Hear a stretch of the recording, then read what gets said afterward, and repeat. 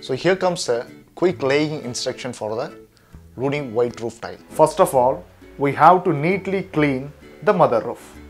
After cleaning, use a waterproof agent apply in the direction of vertical and horizontal way to ensure there is no seepage in the roof. After ensuring there is no water seepage, it is time for the slope. For the slope, use granite flooring to ensure the water will run down to the certain point. After that, put mortar in the ratio of 1 is to 5. Then, lay the tile with the water and cement mix. The next thing is the 8 mm gap between each tile. So why we need an 8 mm? What is the point in that?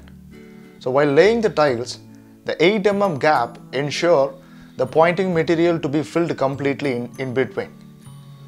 If you're not giving the 8 mm or reduce the 8 mm, the pointing material will not fill completely inside. So it allows to create a vacuum inside. At any cost, that vacuum can develop a crack in the tile. So 8 mm is mandatory and ensure the pointing materials in a semi-solid state that can be easily filled in between the tiles. So what kind of pointing material to be used? You can use any pointing material that available in the hardware store or you can use 1 is to 1 ratio of white cement and white powder. While mixing, use a waterproofing agent along with the water. If the pointing material consistency is so good, that will avoid the unnecessary damage in near future.